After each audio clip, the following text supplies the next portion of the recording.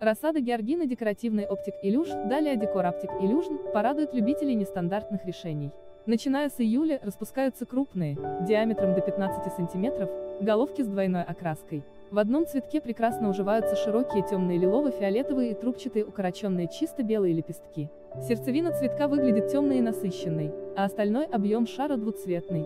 Высокое многолетнее растение, до 110 см, требует дренированной, богатой почвы и солнечного размещения в открытом грунте. Цветет до октября и прекрасно выглядит в групповых и смешанных многоярусных посадках за счет контраста темной зелени ярких цветков. Георгина декоративная оптик илюш это многолетнее растение высотой 110 см.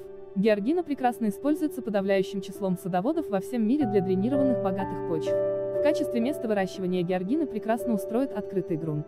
Расцветает георгина декоративная оптик илюш в месяцы июля-октябрь. Цветы имеют нет аромат. Цветок окрашен в лилово-фиолетовый с маленькими белыми лепестками в центре цвет.